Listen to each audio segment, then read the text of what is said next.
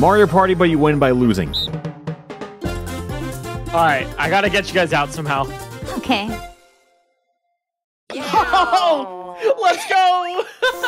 Eric, you just oh, oh my god! I forgot that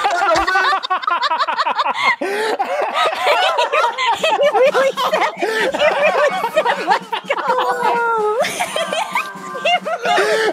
Wait, I need to lose. Wait, I forgot. it would have been nearly as funny if you didn't pop off.